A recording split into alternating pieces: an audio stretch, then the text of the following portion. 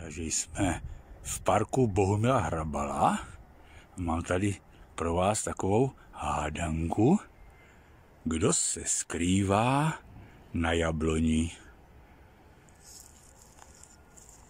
Jsou tady krásně vyřezané malé sovičky od známého brněnského výtvarníka, sprejera a vše umělce Tima.